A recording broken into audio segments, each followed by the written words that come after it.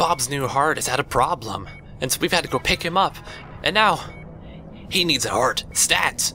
Here we are in the back of the ambulance, ready to do another another heart transplant on poor Bob, who just keeps eating salty foods and fatty things. He's just full of plaque. And hey, come on, come on, cooperate. That's all right. He doesn't want to look. he doesn't want to see this anyway. well, oh god, oh Jesus, no, that needs to stay here. Come back. Oh my god, now I'm. Everything is just going to shit. Get out of here. Go on. Uh. Go on. Gotta clean this place up. Bob's gonna get all hurt. Like, things are just gonna fly in his face. It'll be awful. Oh, I could use this. Although I really need to hold it in a better better way than... No, get out of there, watch. His organs don't need to know the time. Oh god, this is a terrible way to hold it. Oh, oh, I flipped it around. Look at that, that was like acrobatics. Oh, come on, now just grab it. Oh, perfect. I learned that this is the best thing to use from that brain surgery. Get those bones out of there. Come on, give it a, give it a nice. Oh, sorry, Bob. I did. Oh god, damn it. Would you get off of there? All right. Yeah. Okay. Got that piece off. That piece. Just got to go around and loosen that all up. Loosen up that rib cage. He has the most tenacious bones. They grow back so quickly. I wonder if his teeth are like that. Oh, I bet he has teeth like a beaver. They just keep growing his entire life unless he like chews on wood. We can't see because he's got that mask on. Oh, damn it, get out of here. Oh, sorry, Bob. I don't mean to cut your stomach or your skin or whatever the hell.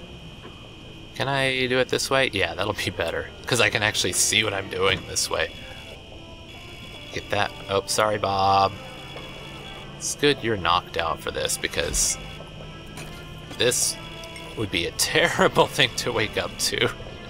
Some guy like lackadaisically one-handedly holding a bone saw and just like, haha, ah, I'm gonna get those ribs out of there, ha ha. Did it? Did a scalpel fall in there? Just one bone holding it up. Let's get that. Okay. I don't need that anymore. Where, where's my morphine? Because he is gonna really need it. Oh no, that thing is gonna cut something. Let's see if I can get it out of there before it starts. No, oh, almost, yeah. I got that, okay. Now let's just get that out of here. We don't need that. It's just in the way. He's got so many of them anyway, he doesn't need them. I learned all about that in medical school where I got my PhD in hot booty. That's not that's not what my PhD is in. They don't even offer classes in hot booty. I looked. Um, okay, give me give me one of these. Oh, damn it. uh, that one right there, that one. If somebody would start driving a bit better, I bet it is Trish because I haven't called her lately. She's like, "Oh, I'm to show him I'm gonna drive like a crazy person. Whenever he's doing a heart transplant. Oh, I dropped a scalpel in there. That is awful. Come on, cut that. Cut, cut that. Okay, I'll just get the liver out of there. Come on, liver. Oh. Save that for later. Make some pate or whatever the hell. And let's get that the rest of that stomach out of there. Come on, Trisha. Uh, damn it. Everything. Oh, it's just... Okay, cut the stomach out. Oh, that came really loose. Oh. That scalpel just appeared. It must be lodged in there. Come on, get... get that get that.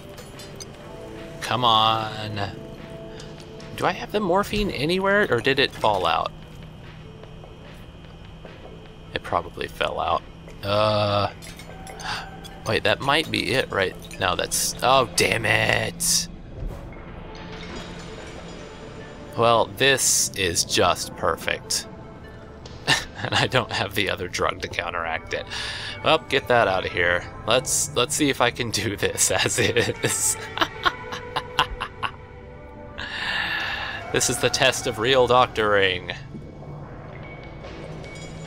Um, okay, I guess I could get a scalpel and chop out that heart.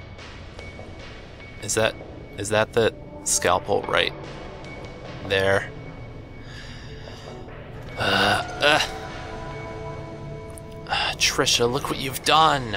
Oh, Trisha, Bob is not gonna like this when he wakes up. Is that was that it? Come on.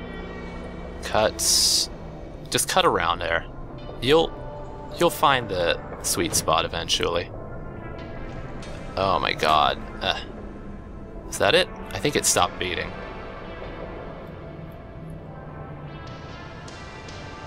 Nope. it's just me being high out of my mind. Uh, oh no, come on. Is there another scalpel? come on, damn it. I'm like right up next to my microphone. Sorry if I'm like screaming at you. Ah!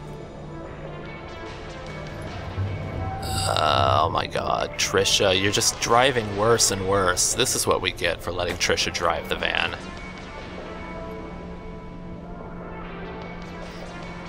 Okay, such concentration. Such, such concentration. Oh, I got it. I got it. Oh. We gotta hurry. Bob doesn't have much blood left. Oh no, the heart is having...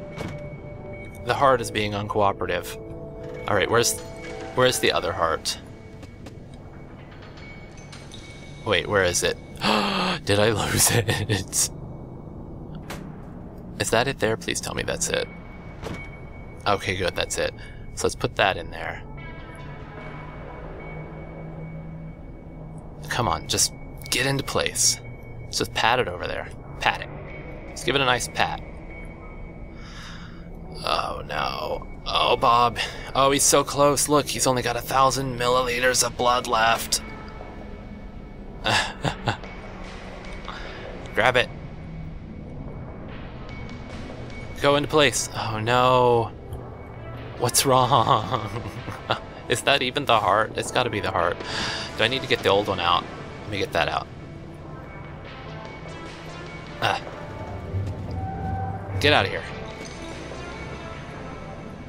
Oh, did the other one escape? Oh, no. Oh, no.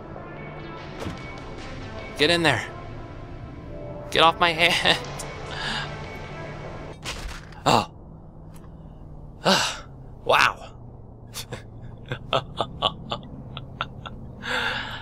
I just did a heart transplant in the back of an ambulance while high as a kite. Do you know who's the best doctor? This guy is the best doctor. Best doctor ever. God damn it, Trisha. She is going to get just a really scathing email from me as soon as I get back to my office. so thank you for joining me. I've successfully transplanted a heart again. Bob better take care of this one because I'm not doing a third one. Damn it.